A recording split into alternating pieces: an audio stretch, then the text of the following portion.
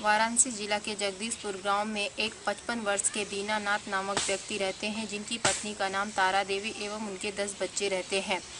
यहाँ पे वो यहाँ 55 साल से रह रहे हैं और 55 सालों में अब तक यहाँ बिजली का उत्पादन नहीं हुआ है। और ऐसे ही इस गाँव के तकरीबन 50-60 लोग इस समस्या से काफ़ी परेशान हैं।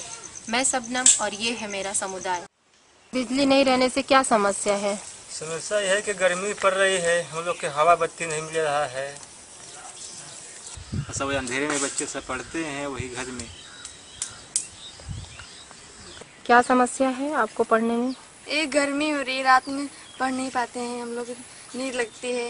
यहाँ मट्टी तिल भी नहीं मिलता हल्दी। दीदी लाइट कब तक आएगी? कोशिश है जल्दी आ जाएगी। क्या करोगे लाइट आएगी तो? और पढ़ेंगे लिखेंगे और घर में अंधेरा है। कितना साल हो गया अभी बिजली यहाँ नहीं आया? यहाँ हो गया बीस साल।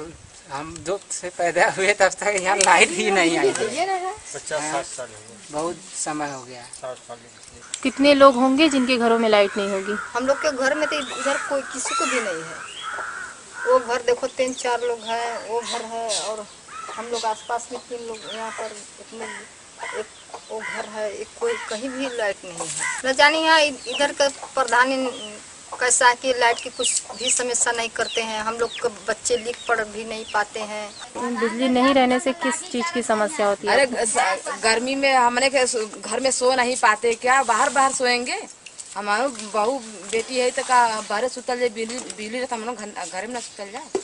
आ, मैं चाहती हूँ कि यहाँ के ग्राम सरपंच जी इस गाँव की सही जाँच करें और पूर्ण सुविधा उपलब्ध कराएँ। यहाँ के बिलकते हुए बच्चों को पढ़ने में राहत मिले और उनको गर्मी से थोड़ी सी गर्मी में पंखे की थोड़ी सी साधन मिले।